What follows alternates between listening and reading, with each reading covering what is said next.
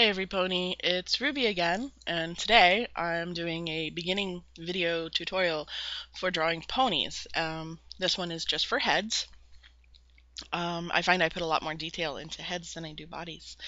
So first we start off with our foundation. Um, we have a circle and a line, and actually we can have two lines if we're going to do certain types of heads. Um, my first circle is for something that's uh, side view my second one is for three quarters view. And my third one is for straight on. Um, and then our second step is simply to draw the head around the circle. Um, I take the nose out a bit, and when I do three quarters view, I go in for the eye and out for the nose. Well, cheek actually, because it's a three quarter view. And uh, for straight on, it's a little different. It kind of looks like the Teenage Mutant Ninja Turtles that I grew up on. You have like this bowl top with a larger bowl bottom. Um, you sort of stylize that and put in some cheekbones if you want. And um, that's the gist of pony heads.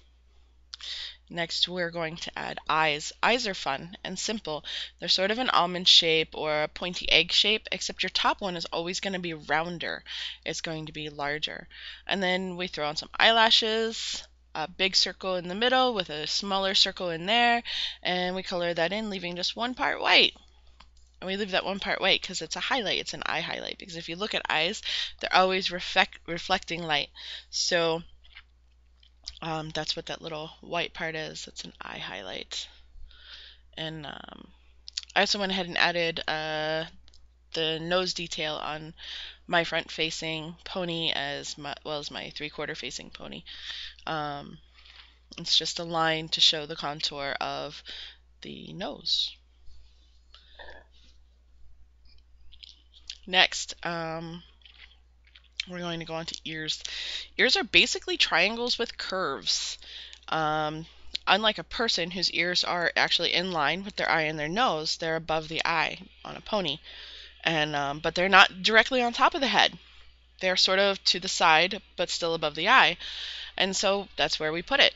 Um, I always draw like little inside flaps and things like that and give it definition and shape and so you can see um, the parts of the ear.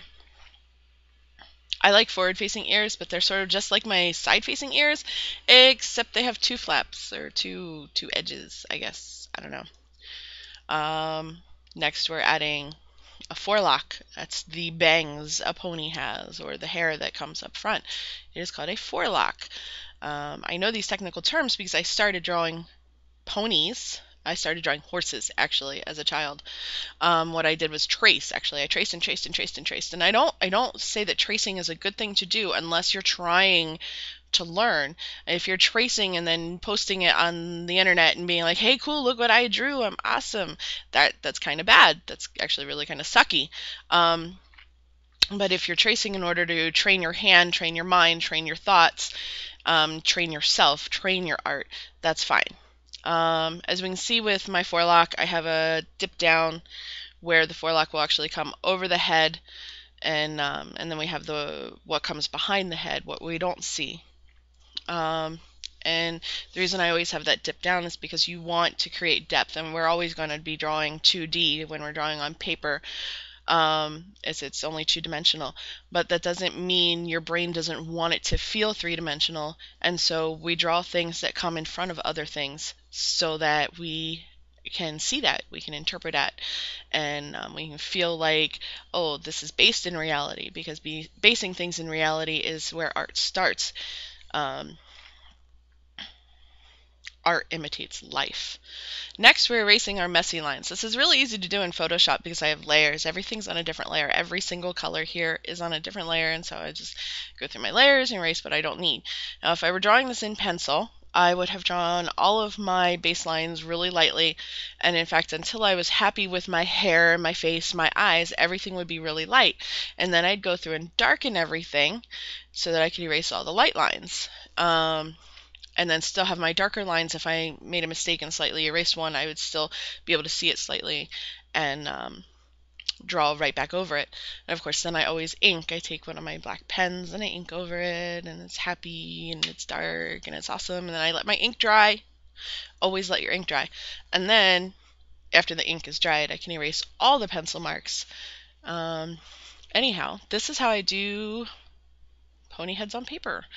Um, that's about it. I don't really have an ending slide for this because it's a much longer video, but I'm cutting it in half. So, love always, Ruby.